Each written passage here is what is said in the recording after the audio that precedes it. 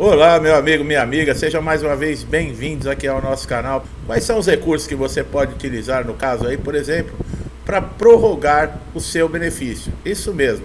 Você, principalmente que está recebendo aí um auxílio doença e, por exemplo, está vencendo o período, né, que foi lhe dado aí pelo perito do INSS, mas você ainda não está recuperado e você precisa de um prazo maior para recuperação. É possível você estender esse prazo?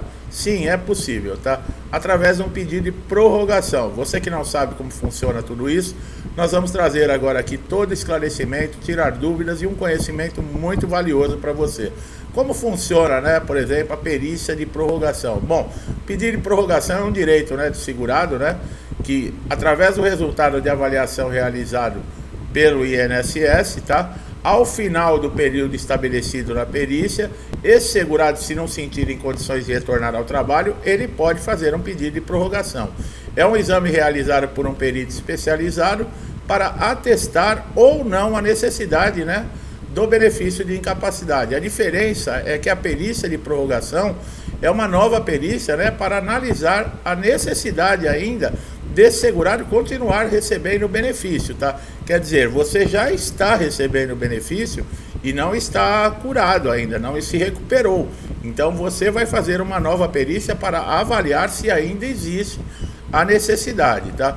Esses pedidos de prorrogação, no caso que nós acabamos de falar, eles podem ser feitos por três vezes. Quer dizer, você fez um pedido de prorrogação, até terminando a prorrogação você não se recuperou, você pode pedir a segunda vez e depois a terceira vez. Depois existe outra maneira de você tentar continuar recebendo o benefício, tá? As prorrogações, como nós falamos, a renovação, no caso aí, por exemplo, para quem fez o pedido de auxílio doença e o INSS não conseguiu marcar a perícia no prazo de 30 dias e conseguiu por 90 dias o benefício enviando a documentação para o portal Meu INSS, também tem direito, no caso, se não se recuperar durante esses 90 dias, né, que é a concessão do auxílio doença sem a perícia, você pode pedir uma prorrogação, tá? Então existe diferença. O auxílio doença comum, que já passou por perícia, e o auxílio doença que não, não passa por perícia, tá? Que é concedido num prazo aí emergencial por 90 dias. Você pode conseguir mais 90 dias de prorrogação, mas esse pedido pode ser feito somente uma vez, tá? Quando você deve pedir a prorrogação, né? Ela deve ser feita quando o segurado considerar que ele está inapto a retornar ao mercado de trabalho, tá? O que é necessário levar no dia da perícia de prorrogação? Olha aí, pessoal. Documento de identidade com foto, tá? O CPF, documentos que comprovem a incapacidade e forneçam dados atualizados do seu quadro de saúde, atestados, exames, relatórios, históricos cirúrgicos, laudos de tratamento, receituários médicos, tudo isso é muito importante, tá? A Lei de Processos Administrativos 9.784 de 1999 dá 30 dias para o INSS dar resposta para você, no caso aí, negar ou conceder esse requerimento de prorrogação, tá? O que é uma perícia conclusiva? Lembra que nós falamos quando encerra, por exemplo, esses três pedidos de prorrogação que você pode fazer, existe a perícia conclusiva, tá? Nessa perspectiva, essa perícia conclusiva é para o INSS fazer uma avaliação geral desse caso, desse segurado, que já fez esses três pedidos de prorrogação e ainda necessita, então o INSS vai fazer uma avaliação se ele poderá prorrogar ou não esse auxílio doença, tá? No caso de pente fino, nós não estamos vendo falar muito em imprensa, em televisão, mas está acontecendo, tá, pessoal? Diariamente nos postos e agências do INSS estão sendo convocados, sim, muitos segurados para passar pente fino. Tá? O INSS sempre alega que é para verificar se existe aí por exemplo, suspeitas de irregularidade ou de fraude nos benefícios, tá? E aqueles segurados que também já têm a data de cessação vencendo, tá? Ou que estão há mais de seis meses sem passar por perícia do auxílio doença, tá? Que não tenham nenhuma alta programada e nem encaminhamento para reabilitação, porque nesses casos não dá para ser convocado para o pente fino, tá? Quem fica fora do pente fino é aqueles, né? Segurado que já tem 60 anos de idade Aqueles que recebem o benefício de aposentadoria por invalidez, que já completaram 55 anos e recebem o benefício há mais de 15 anos, e os portadores de HIV. Esses estão fora de serem chamados para pente fino ou revisão, tá? Quando o auxílio doença ele pode ser cortado.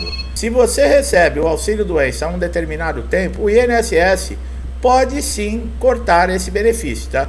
Desde que a sua saúde tenha sido completamente restaurada e esteja apto ao trabalho. Vocês viram, completamente restaurada. Isso tudo aonde vai acontecer? Através de uma perícia, tá? Quem vai decidir se a sua saúde está completamente restaurada vai ser quem? O perito do INSS, tá? Todo auxílio doença deverá ter, por exemplo, uma data de cessação. Caso não seja informado DCB, né, que é a data de cessação, é essa sigla, a lei diz que o benefício deve ser cessado em 120 dias. Quer dizer, quando você tem o benefício concedido e na carta de concessão não tem uma data de cessação desse benefício, ele tem prazo de validade por 120 dias, tá? Com exceção de quem está no processo de reabilitação profissional. Quando o INSS pode suspender o benefício? Todos os benefícios do INSS que o segurado cumpra a lista de exigências para conseguir o benefício e mantê-lo. Nesse sentido, quando o segurado fez algo que não devia ou deixar de fazer algo que deveria fazer, o INSS pode suspender o pagamento do seu benefício de forma temporária. Caso isso não ocorra, o benefício pode ser suspenso, tá? Até a regularização, que deve ocorrer no prazo de 60 dias. Os benefícios por incapacidade, como auxílio doença e aposentadoria por invalidez, são concedidos após uma perícia médica. Viram prestar atenção aqui? Caso você faça algo que não deveria, por exemplo, está recebendo o auxílio doença e for pego trabalhando, tá? Caso você não faça algo que deveria, por exemplo, atualizar o seu cadastro dentro do INSS, atender um cumprimento de exigência no INSS, que nós falamos sempre, o portal Meu INSS é importantíssimo nesses casos, pessoal. Se você não viu o vídeo ainda com relação a cumprimento de exigência, veja, porque mesmo que o INSS tenha prazos, por exemplo, para fazer uma análise de benefício, conceder ou negar após um pedido, ou você que está recebendo o benefício foi cessado e você entrou com um requerimento e ele está em análise, você pode acompanhar através do portal Meu INSS. Então vale a pena você assistir o vídeo de cumprimento de exigência. E se você não tem o cadastro no portal Meu INSS, nós também temos um vídeo que nós explicamos de maneira simples e demonstramos para você como é importante e essencial esse portal na vida do segurado, tá? Para solicitar a reativação do benefício cessado ou suspenso de forma administrativa, é preciso utilizar o aplicativo Meu INSS em ambos os casos. O segurado deve ter em mãos o CPF e o número do benefício. Tem alguma dúvida ainda se o portal Meu INSS é importante para todo segurado? O que significa o auxílio doença suspenso? No caso de não atendimento à convocação, por exemplo, de um agendamento ou de não comparecimento na data agendada, por exemplo, de uma perícia, o benefício será suspenso até o comparecimento do interessado após 60 dias da suspensão realizada. Então vocês viram, se não atender, por exemplo, uma convocação do INSS, o benefício fica suspenso, tá? Ele pode ser cessado depois de 60 dias, caso você não tenha uma resposta. A situação do benefício poderá ser convertida em cessação definitiva do benefício. Olha como é importante. Tudo isso você consegue resolver através do portal Meu INSS. Então, se você está, por exemplo, viajando, se você está na casa de algum parente, se você não consegue, por exemplo, se levantar, você pega o seu smartphone, baixa lá o aplicativo e faz todo esse tipo de serviço, tá? Quanto tempo demora para reativar um benefício suspenso né, no INSS? Em outubro de 2020, o STF, né, o Supremo Tribunal Federal, decidiu que os segurados que tiveram seus benefícios negados, cessados ou interrompidos podem contestar o INSS a qualquer momento, tá? De maneira geral, a reativação do benefício pode levar de 30 dias a dois anos. Quer dizer, compensa ou não compensa você atender, por exemplo, a uma convocação no INSS.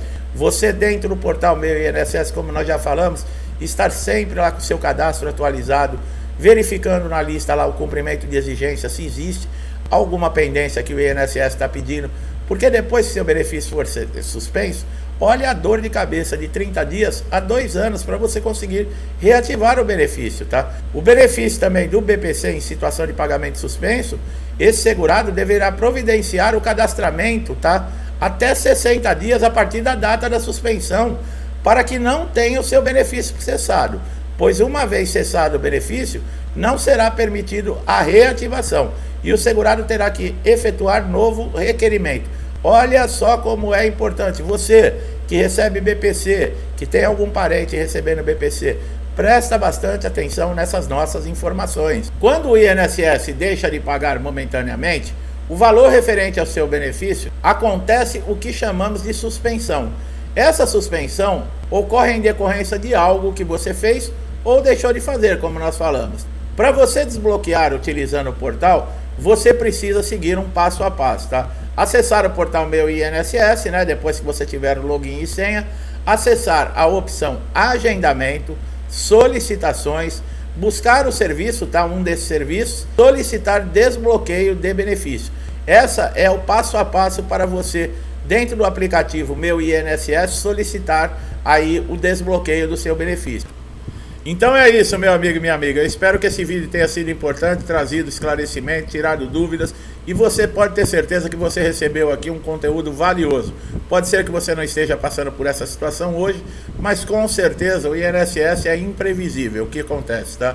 Hoje é de um jeito, amanhã é de outro. Caso você precise, você já vai ter informação, já vai estar mais tranquilo e sabendo o que você deve fazer. Gostou do nosso trabalho? Não deixe de dar um like aqui no vídeo, se inscreva no canal, ative o sininho de notificação para sempre ser beneficiado com os nossos novos conteúdos, conteúdos diários, que pode ter certeza que são formações atualizadas que vão ajudar você a permanecer no INSS de uma maneira mais tranquila. Meu amigo e minha amiga que estão sempre aqui comigo, meu muito obrigado. Eu não canso de agradecer pelo incentivo, compartilhamento e interação que vocês têm aqui no canal. Muitos desde o início, né? Então eu agradeço muito, peço a Deus aí que lhe traga paz a você e a toda a sua família, muita saúde, amor, prosperidade, harmonia, que todos nós possamos aí continuar de cabeça erguida com fé em Deus, tá? Prosseguindo e superando todos os obstáculos que surgirem. Eu deixo a todos vocês um forte abraço e até os próximos vídeos.